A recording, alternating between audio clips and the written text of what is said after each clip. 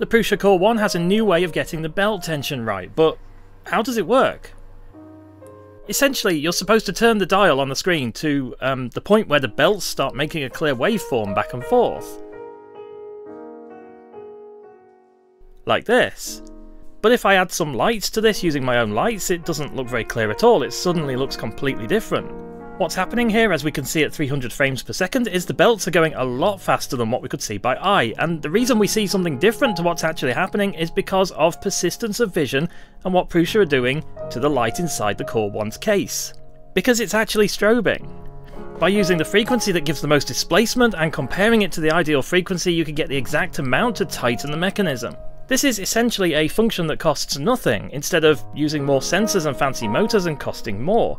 And I think it's a pretty cool way to solve the problem.